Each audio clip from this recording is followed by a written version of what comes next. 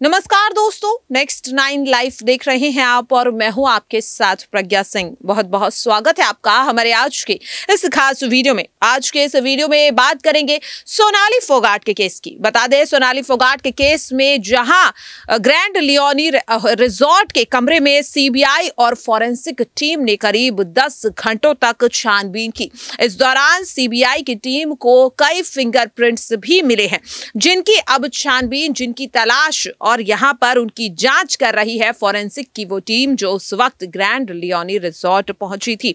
देखने वाली बात यह भी होगी कि आखिरकार ये फिंगरप्रिंट्स किसके हैं? क्या इस केस में अब कोई और नया किरदार जिसके चेहरे से पर्दाफाश होने वाला है?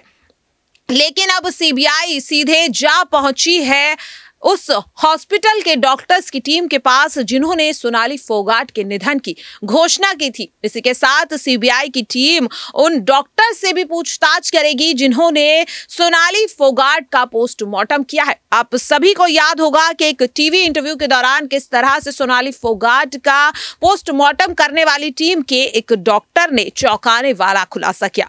वो खुलासा ये था जिसमें वो बताते हैं कि जब उन्होंने सोनाली फोगाट के शरीर को पहली बार देखा तो उनके पूरी तरह से होश उड़ गए। उन्होंने बताया कि सोनाली फोगाट के शरीर पर छियालीस चोटों के निशान थे, जो किसी एक शख्स के लिए कर पाना मुश्किल है। तो एक बात तो साफ़ है कि इस साजिश में कई लोग यहाँ पर शामिल हैं।